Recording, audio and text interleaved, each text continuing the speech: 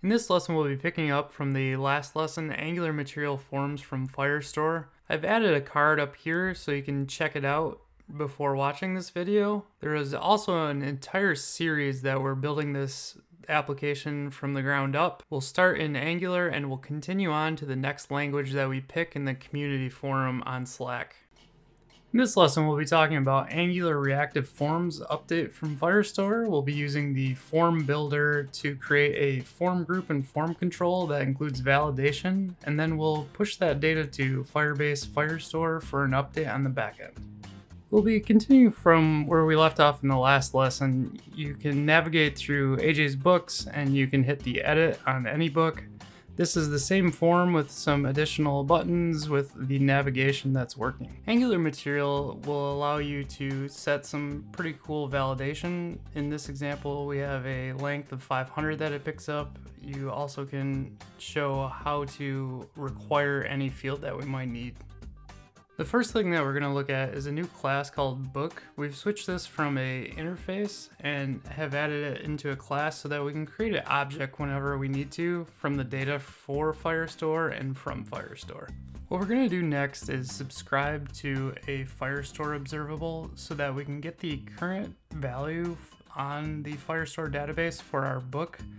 We're going to capture the book ID from our navigation from the parameter and we'll pass in a rebuild form command. Within this rebuild form command, we'll add a book form reset. We'll talk more about this later, but then we'll also add a get book, which will update that observable. And it will allow us to then create our book form and add all of the correct values that are currently in Firestore to our book. The reason we're using a pipe map here is because we have a date and we need to convert it.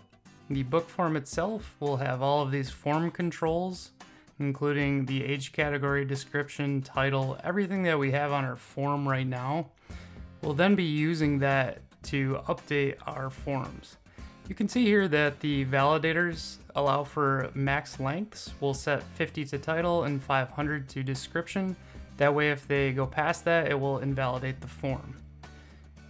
Within the form itself, we'll switch out the ng models and we'll add form control names that match back on the same in the TS config. So for instance, title matches title over here, and it has a value of book.title coming from Firestore.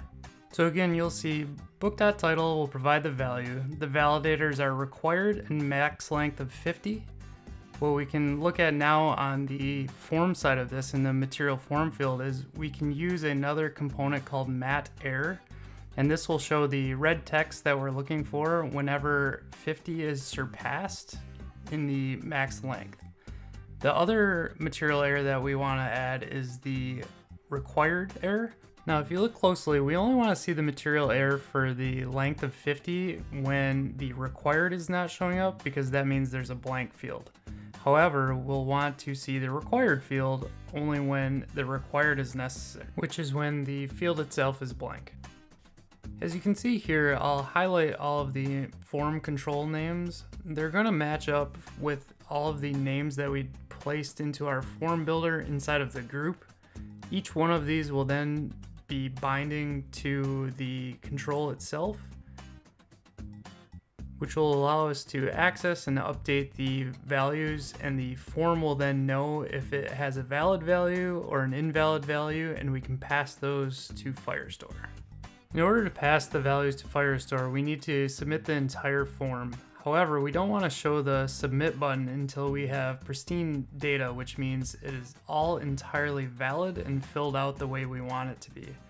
So in this directive for disabled, we're actually saying if it's pristine and not valid, don't show the button. So it's kind of reverse logic. It's disabled, but both those values need to be true.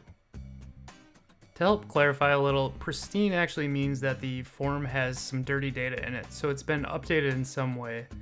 Unlike the submit button, the revert button, we need to be able to click and reset the data back to the original Firestore data, so we're going to show that the minute that the form has any updates. Now that we've talked about the submit button, you can see here in ng submit we have save book changes.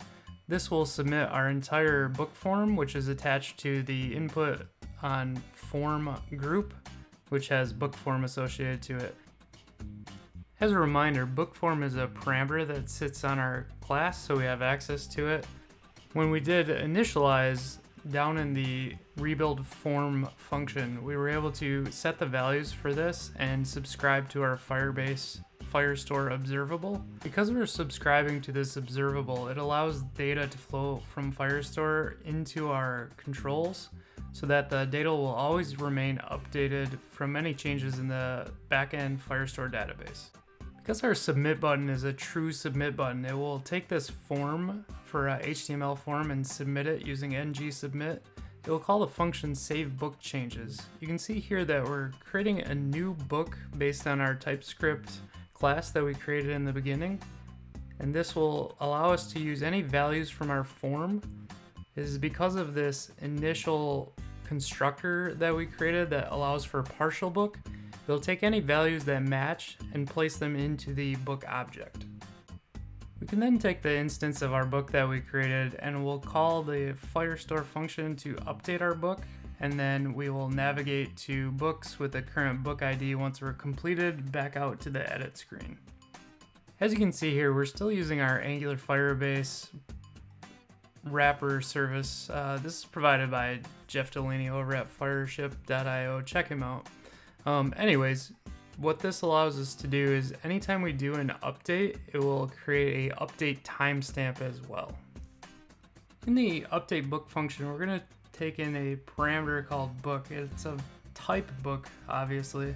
We're gonna pass that to an update that allows us to go to our books collection with our book ID, and then the values that we'll pass to that are the entire book object for update. There are many people that do not like the promise then structure. Instead, we can switch this over to have a await structure involved. So on this side of the call, we will just add the await keyword and then we can remove the then and the end of the function call. And then all we need to do is add the async to the start of the function. It'll perform the same way as having then. If we go through the full navigation, we can see that by navigating to the correct book, we can then have all the values defaulted from the original. And if we select anything and change things, it doesn't change on the fly, it actually changes on the submit. And that's a key difference. You can set up forms to actively update Firestore. I prefer it this way so you get more validation and only change when you want to. This is definitely a UI UX type of decision. Of course, you could always update this and update on every change in value.